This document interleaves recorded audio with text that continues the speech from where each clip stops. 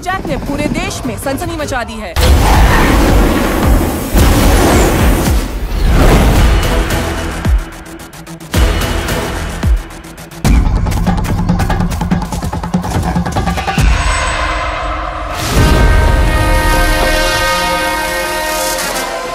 तो हेलो दोस्तों, कैसे हो आप? आई होप आप सब मस्त हो गए अपने कामों में व्यस्त हो गए तो आज मैं एक और मूवी के ट्रेलर की अपडेट लेकर आ चुका हूँ। कंफर्म अपडेट फाइटर की, ये तो आपने पता ही चल गया होगा कि फाइटर ऋतिक रोशन, दीपिका पादुकोण और भी कुछ बहुत बड़े एक्टर है जिसका बजट ढाई सौ से तीन सौ करोड़ का है इस मूवी का। तो इस मूवी का मतलब पच्चीस पच्चीस जनवरी को ये रिलीज़ होने वाली है और अभी तक इसका ट्रेलर नहीं आया यानी कि आज तेरह जनवरी होगी और अभी तक इसका ट्रेलर नहीं आया तो इसका ट्रेलर की कंफर्म हो चुका है, इसका मूवी मतलब फाइटर मूवी का ट्रेलर आपको पंद्रह जनवरी को देखने को मिलेगा।